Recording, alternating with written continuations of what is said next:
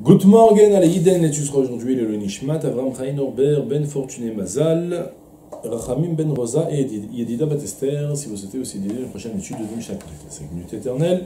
Et on démarre aujourd'hui, Bezrat Hashem Masechet Erchin, la cinquième Masechet du Seder Kochim. On a fait Zvachim, Menachot, Chulin, Chorot, et maintenant c'est Masechet Erchin, ou plutôt Arachin. Et réellement, euh, selon les règles de grammaire, il faudrait plutôt dire le mot arachin, parce que c'est le mot au euh, singulier, c'est erer, et selon les règles, lorsqu'on va le mettre au pluriel, ça va devenir arachin et pas erchin.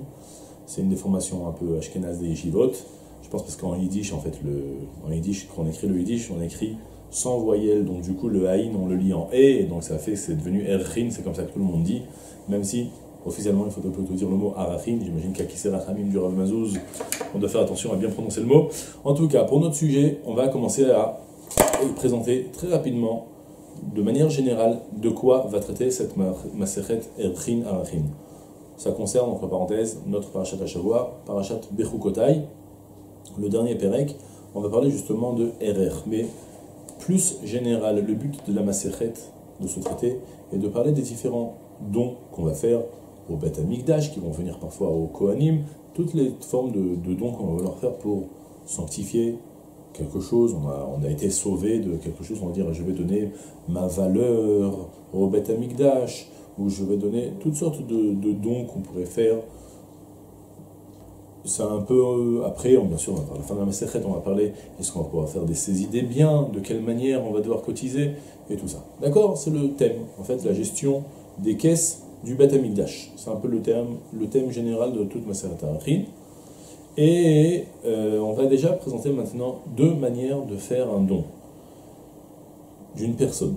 Par exemple, j'ai été sauvé, il y a un midrash qui raconte d'ailleurs qu'il y avait une femme à l'époque du Beth que tous les ans elle donnait le poids de son enfant en or au Beth Amikdash. C'était une manière, quelqu'un qui était sauvé, il vous donnait son poids en euh, argent, en poids, son poids en or et faire comme ça un don au Il y a deux manières de faire un don d'une valeur d'un être humain. Il y a le prix coûtant de l'homme, et ça, ça s'appellera un éder. Par exemple, moi, un homme, selon ma force, mon poids, mes capacités, je vais coûter au marché des, esclaves tel prix, quelques millions, quelques milliards, parce que je suis vraiment exceptionnel. Donc, euh, celui qui va dire, euh, il va, celui qui va si moi je veux leur faire un don de donner ma valeur, ou quelqu'un qui va vouloir donner ma valeur aussi, ça peut être quelqu'un qui va, quelqu'un d'autre aussi qui peut décider de faire le don de ma valeur à moi, eh bien il va devoir, devoir donner ma valeur selon le marché des esclaves. Ça, ce sera un éder, c'est qu'il a fait un vœu. Par contre, lorsqu'on parle de faire un RR, de donner un RR, c'est c'est plus général euh, sur l'espèce, la valeur humaine, la valeur estimée de l'être humain et que la Torah nous a explicité, ça se trouve dans, justement, Parashat Bechukotai, Perek Chavzain, c'est le dernier Perek de la, de la où là-bas, la Torah, elle va préciser, d'abord Hachem Moshe est mort, d'abord le Béné Israël va Mantalem, Ish Ish qui affli Neder Be'er Kecha Nefashot Lachem, lorsqu'il va leur donner la valeur d'une âme à Hachem. Il y a plein de Ramazim, on va pas trop rentrer dans ça, il y a du Kliyakar, qui va nous donner pourquoi est-ce que la Torah a fixé chaque prime. En tout cas, on va se retrouver avec des tranches d'âge à partir de 30 jours. Le premier, euh, ça va se passer comme ça, il va avoir de 30 jours, un enfant de, à partir de 30 jours jusqu'à 5 ans, de 5 ans jusqu'à 20 ans, de 20 ans jusqu'à 60 ans, puis après 60 ans. Et euh, la Torah va donner des barèmes à chacun pour les hommes et pour les femmes. On les découvrira, si ça vous intéresse, quand vous lirez la parachute d'Ashawa, faites bien attention aux chiffres. Vous verrez que ce sera euh, pour l'homme euh, ben, pour l'homme, mi ben esrim shana, ben shishim shana, il devra donner 50 shekels. Si c'est une femme, 30. La femme, c'est en général la moitié de l'homme, On aura l'occasion d'en parler plus dans les détails pour le moment. Je vais juste présenter un petit peu l'idée. C'est ça, c'est une valeur fixe, quel que soit l'homme. C'est-à-dire que quand je vais voir un, homme, même comme ce qu'on va voir tout de suite, incessamment sous peu, le, le, le début de la Mishnah, va inclure ce cas-là, justement, un homme qui est complètement mourant, par exemple, et je vais vouloir faire le don de son RR au Beth Amikdash dans l'espoir qu'Hachem il va le sauver. Donc, officiellement, au marché des esclaves, il vaut rien du tout. D'accord? En quelques heures, il va passer dans l'autre monde, le gars. Et malgré tout, si je veux dire que je vais, donner son RR, ce qu'on appelle le RR, la valeur, c'est plus la valeur la valeur de l'âme, la valeur humaine, quoi, eh bien, on va regarder son âge, de 20 à 60, ah, il faudra donner 50 shekels de l'époque, bien sûr, c'était des pièces euh, d'argent. Pour une femme, 30. Et si c'était de 5 à 20 ans, pour l'homme, il devra donner 20, alors qu'il est pour la femme 10. Et si c'est moins de 5, de 1 mois jusqu'à 5, alors pour l'homme, ce sera 5, et pour la femme, ce sera 3. Donc en fait, on se retrouve avec, pour l'homme, si on le reprend dans l'ordre, ça va nous faire 5, 20 et 50. 5, 20, 50, et puis après, après 60 ans, hein, ça va retomber chez l'homme, ça va retomber à 15, moins que 20, moins que ce qu'il est au début, et chez la femme, elle garde plus ou moins ce parallèle, que ça va faire 3, 10, 25, 30 plutôt, 3, 10, 30, et après, quand la femme devient plus vieille, par contre, là, il y a une différence, c'est qu'elle va redescendre à 10 shekels d'argent de l'époque. De manière générale, la femme, c'est l'âme sœur de l'homme, c'est la moitié de l'homme, donc en général, c'est plus ou moins des prix qui correspondent à la moitié. C'est un peu le principe qui, qui développe le Tiferet Israël ici pour euh, expliquer un petit peu les, barèmes qui ont été fixés par la Torah. Pour notre propos maintenant, donc on va commencer tout de suite la Maserhet. Donc retenez bien, il y a les Arachin et les Nedarim. Un RR, c'est une valeur fixe, une valeur estimée pour l'être humain. Donc je vais donner le RR de telle personne. Et euh, Neder, c'est que je vais donner plutôt la valeur marchande de l'homme. Et là, on va s'intéresser à sa capacité, ses, facultés, son âge et ses conditions physiques. Et la Mishnah commence à me dire? Akol ma'arichin vene'erachin nodrim venidarim kohanim ulvim israélim nashim va'avadim. Je traduis tout de suite Akol ma'arichin. Tous peuvent faire un don de la valeur. Vene'erachin, ou tous peuvent être l'objet de la valeur. Nodrim prononce, tous, on met le tous en facteur, tous peuvent prononcer un vœu.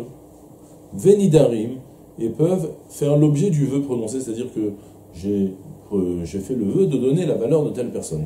On va mieux expliquer, mais d'abord je vais arriver jusqu'au bout de la phrase. Qu'il s'agisse des Kohanim, Lévi'im ou Israélim, un Kohen, un Lévi ou un Israël, Nashim et même une femme, Va'avadim et même un esclave. La Mishnah, en fait, elle est venue me dire, sache que je t'ai introduit qu'il y a deux formes de Neder. D'accord? Il y a les, les Arachin et les Nedarim. Deux formes de vœux, plutôt, deux formes de, de, de don que tu peux faire, Soit un RR, donner la valeur, soit donner la valeur marchande de la personne. La valeur, on va appeler ça pour euh, histoire de se comprendre, la valeur humaine et la valeur marchande.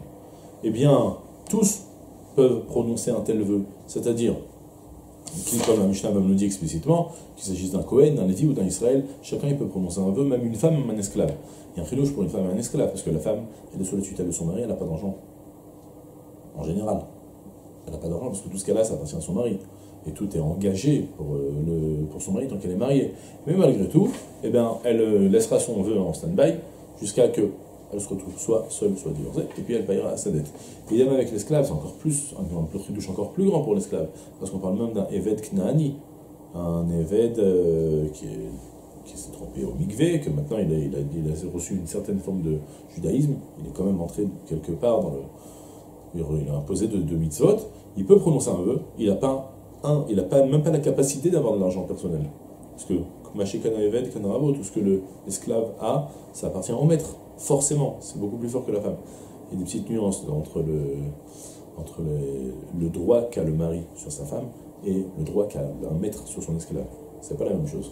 Une femme, c'est un engagement un peu secondairement, on va pas trop, rallonger sur ça tout de suite, mais en tout cas, même l'esclave qui a aucune capacité d'avoir un bien à lui, à la différence de la femme, et eh bien malgré tout, il a prononcé un vœu, il devra le payer. Quand? Le jour il sera libéré. D'accord?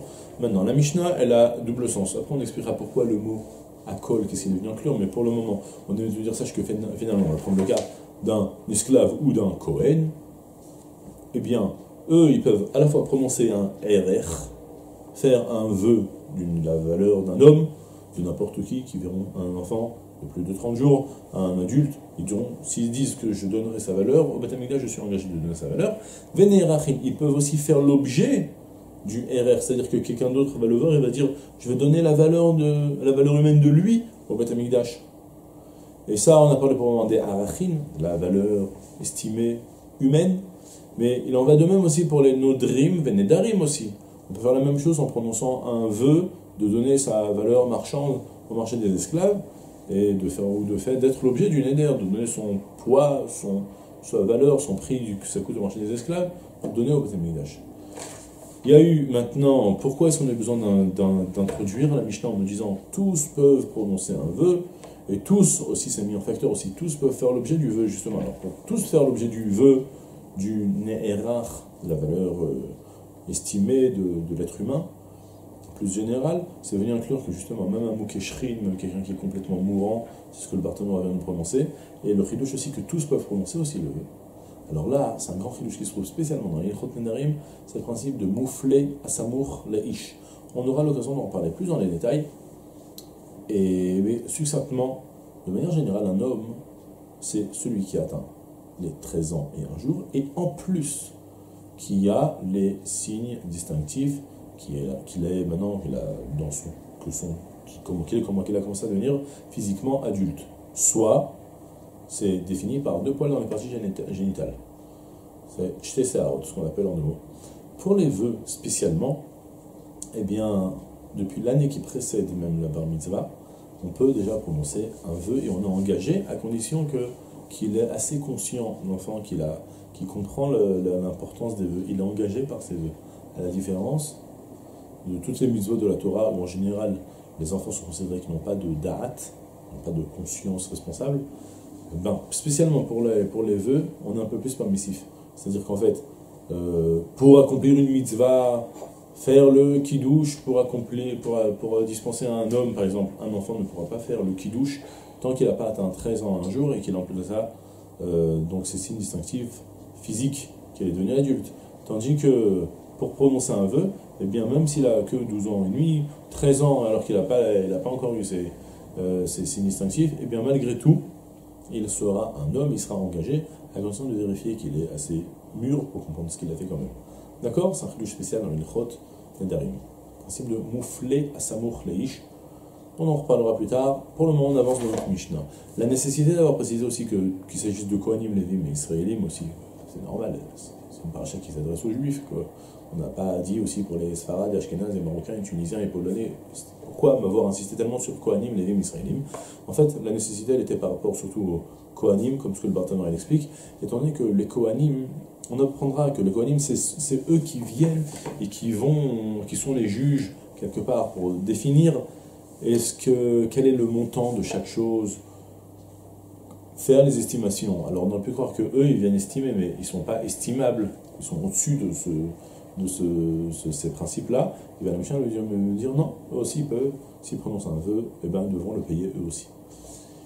Et voilà, on a tout expliqué jusqu'à maintenant et on continue à avancer notre Mishnah. Tum tum vandrogenos nodrim venidarim uma'arichin avalon erachin shenon vadai unekeva vadait.